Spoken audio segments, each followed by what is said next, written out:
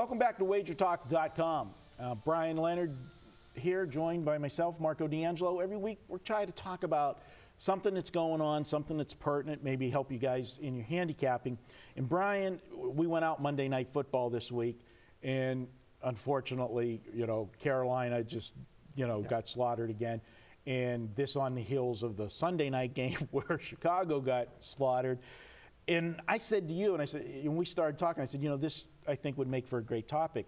At what point, what do you do with teams that just maybe really are that bad? Because you and me, we're always looking for value when we're, we're handicapping, and we're situational handicappers. I mean, you do numbers, but you're still, to a degree, situations you look for. And one of the situations we both love is that when a team looks bad on a national stage, we want to take them the next week because there's value with them.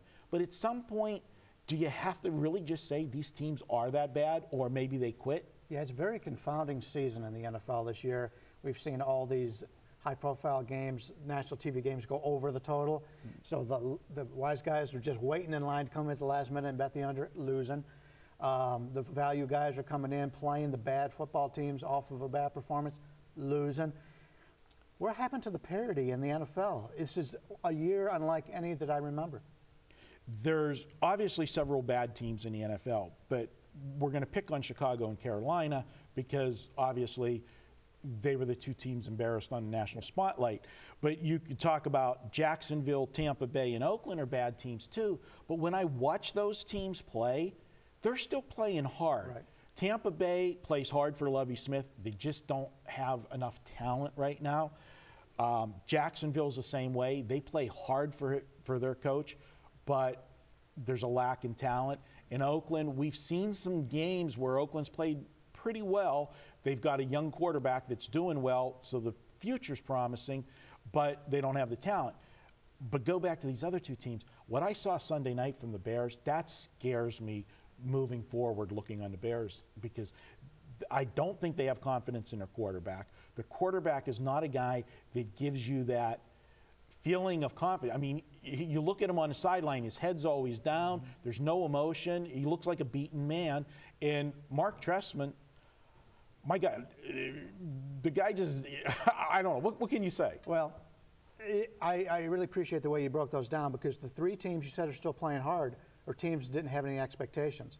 Uh, even Oakland now, nobody wants to go undefeated or, or winless on the season. You're always going to get a good effort out of Oakland. Unfortunately, they don't have a lot of talent. But when you take a look at your Carolinas and your Chicago's, these are teams. Carolina goes to the playoffs last year. Chicago was one of the teams that everybody that was a loved sec- That was a sexy season. pick coming in. Yeah. Um, so you've got teams that, and we find this in every sport, and find it in baseball all the time. Teams that come into the season with expectations. They expect to go to the playoffs. They expect to have a good season. All of a sudden, things start unraveling, and they lose it. Atlanta last year. Atlanta yeah. coming off with a nice season Houston before. as well. Houston, same thing. So you see that a lot, especially when you have veteran players on these teams. They come into the season, they go, "We got a really good chance to playoffs." All of a sudden, they fall off the map. What's what's when they fall behind in the game? It's like, why come back? We're not going to make the playoffs anyway. And so that may be, you know, we don't talk a lot about in-game betting. Mm-hmm. Those are games you watch a game and you, you you talk about, you know, the head coach having his head down, that kind of stuff those are the teams you want to go against because the, the people who are making They're not going to make that It's all computer computerized. People are do, doing it that way, so you can make money in in-game betting. But uh, yeah, that's probably the best point we've made in, in this video is yeah. look at those teams that if as soon as you see something go wrong with them and, and you see that look it, on it's them, a it's a snowball. It, it's when, a snowball effect. And, and that's the thing with Cutler all along. I mean, it, the, his own players say they go, we look over at him and he's just so disgusted. You know, we drop a pass and. He, Yep. And nobody, he's, call, nobody called wants out to be called out before. basically that way. I hope this video helped you guys looking at some of these bad teams and some of the bad teams that still are trying and are worth betting on.